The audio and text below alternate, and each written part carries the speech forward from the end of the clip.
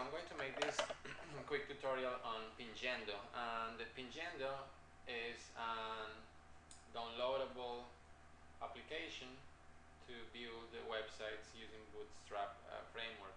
So when you open the program you're going to find this couple of options if you want to start a new empty page or a basic uh, page from a template.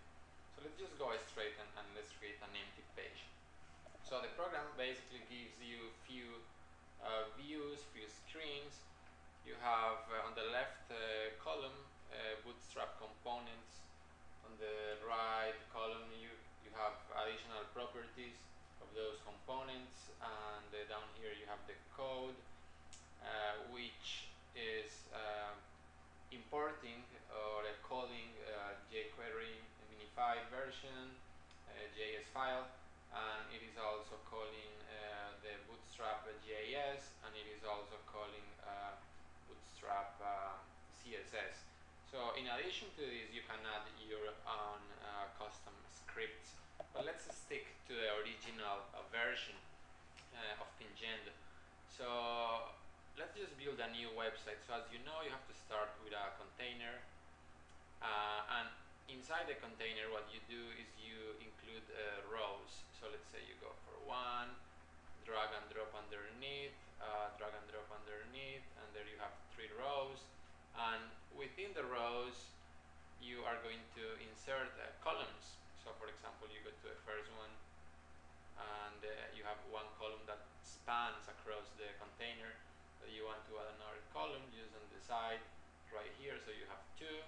Let's say in the middle uh, row you want to have three columns. So basically you just drag and drop. And there you go. And the last column will fit on this last row so there you go the first one has two, two columns the middle one have three and the last one has uh, one uh, when you click on each one of the columns you're going to see a class name that relates to uh, bootstrap framework. In this case, you have a column, medium size, uh, with a span of 6.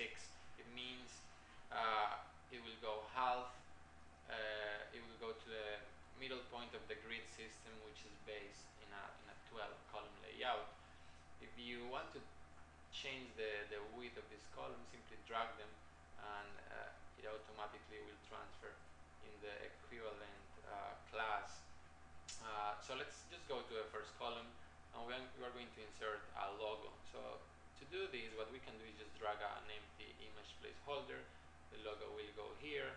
Let's say for this empty column, we want to add uh, what we call a jumbotron. A jumbotron is sort of a marketing piece uh, where you can just write uh, something like uh, welcome to my my landing page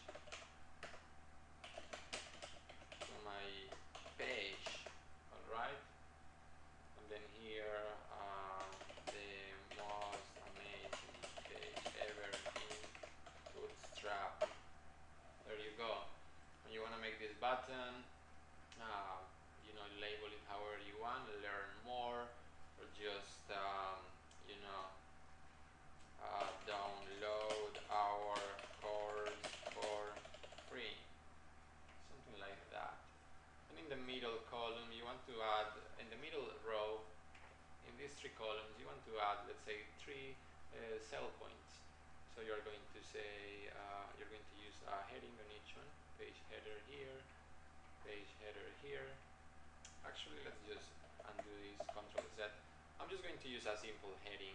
So let's go heading heading and heading. And then a paragraph underneath underneath each one.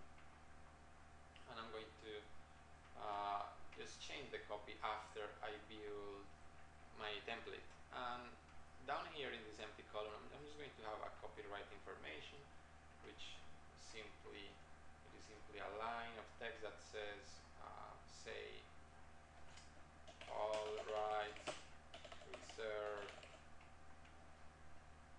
Okay?